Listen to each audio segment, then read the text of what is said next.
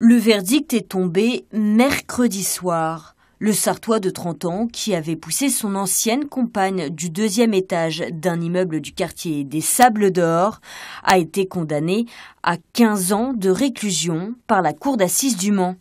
Une peine allant au-delà des réquisitions demandées par l'avocate générale.